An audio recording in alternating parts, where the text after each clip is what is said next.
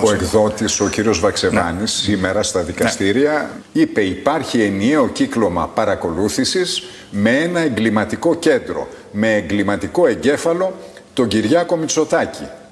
Καμία εξέταση δεν έγινε, καμία άρση απορρίτου, καμία προσπάθεια έρευνας. Και αυτό συμβαίνει γιατί αυτό η, επέλεξε... Η απάντησή μου είναι καμία απόδειξη για αυτά τα οποία γράφονται. Και είναι ντροπή και έσχος να εννοεί κάποιος ότι ο Πρωθυπουργός παρακολουθεί τον Υπουργό Εξωτερικών. Και άκρος επικίνδυνο.